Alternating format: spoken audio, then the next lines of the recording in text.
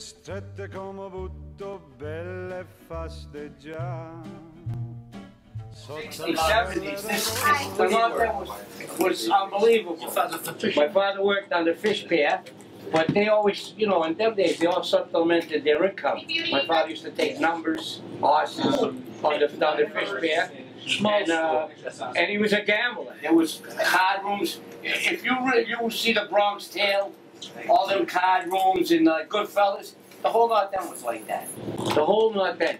You thought nobody worked because they were always out. They were always dressed up. They had nice cars. We never wanted for nothing, and and you knew everybody. You knew everybody. Old ladies walked around with their pocketbooks hanging, the money hanging out, and people would give it back to them. That's his they were- family. My family was. Oh no, you're the Shoe family. Forget about it. He's too young to remember. Well, we got three I wasn't even in diapers. I wasn't even born. His generation is uh, He's the new generation. I'm the new generation. What do you think of the North End now compared to the days? That, from what they talk about, it's definitely nothing, not compared to nothing what they used to talk about. Now it's all college kids and yuppies and tourists. the rest. The But Pentagon. the trips turned to it. It used to be all Italian, but they pushed us out. and back in the day, he couldn't even come up this end. He's from Endicott I'm Street. from That's Endicott like Street. That's like no man's land compared here. You wanted the want side to? of You North stood End. in your corner, and we played ball against Endicott Street, ball against Fleet Street. Sections. Sections, we you know. And this section was all we're all Sicilian, right? I'm Villanese in the Sicilian area, and, and all my friends used to We let them in. We let them in. Yeah, because I hung out. Talk about, Well, basically, you came from the, the old timers came from certain parts of Sicily, Avellino, uh, or whatever part, Calabrese, Abruzzi. This section was Sicilian. This was all this is, was all Sicilian. And you know, every now my grandfather came from the old country. He ended up here because he worked here. He was a maintenance guy for all the property owners. But we were we're, we're basically from Avellino, Italy, Naples, and that's Endicott Street. Fleet Street was all the fishermen. Salem Street was a mix, but mixed a lot of Villanese, Villanese Calabrese, and uh, when we were kids, we stood like uh, this was our corner. Whoever grew up here, we stood here. You didn't go hang on Endicott Street. We were like little gangs, like little bit, little gangs that hung just all hung together. You know? You know, you from Until- North Street, huh? Well, go back Yeah. to North Street. Yeah. Stay out there. Yeah. You're from China Street. Oh, Endicott Street, we're all Mickey Mouse, except for Biffle. Ladies, all me and Biffle. Yeah. And you grew up with the biggest Mickey like power. The feast in those days was like, this is uh, Sicilian. All, all the feast are like Sicilian. They'd have their feast here.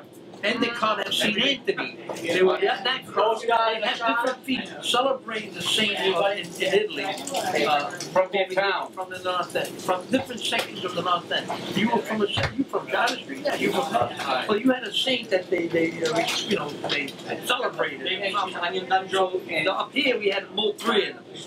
And then, and then the North End, you didn't say, when somebody asked you where you're from, you didn't say the North End, you said, I'm from Hanover. The low end. They go the high end, the low end.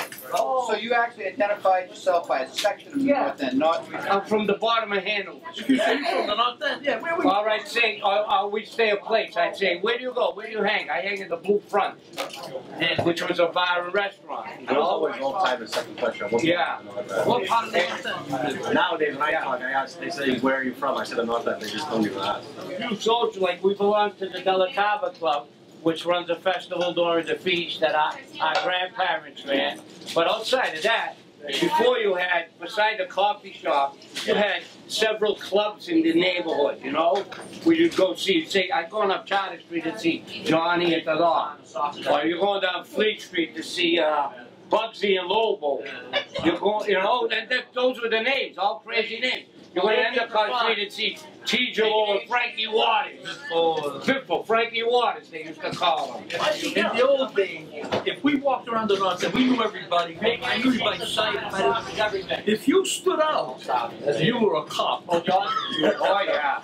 Hey, whoa, who's that guy? We would, we would. And they wouldn't, t- even though you're Injun Joe's son, no one would have got on this camera at No. 20 years ago. Never seen- Nobody. About five, six years ago, his brother-in-law's nephew came to the North End with a guy Oh, from Philly. So they would, they wanted to interview people, and he had to get okays. So I took him down our club. Nobody would talk to him.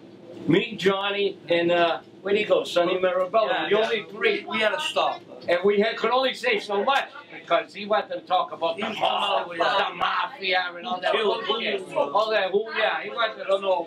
I said, you know, that stuff's gonna fly. I'll tell, we'll talk about the neighborhood. And like I said, if those days a stranger looked like a cop, he was a stranger. He didn't have to be a cop. Now your wife just Because he, he stood out out of the crowd.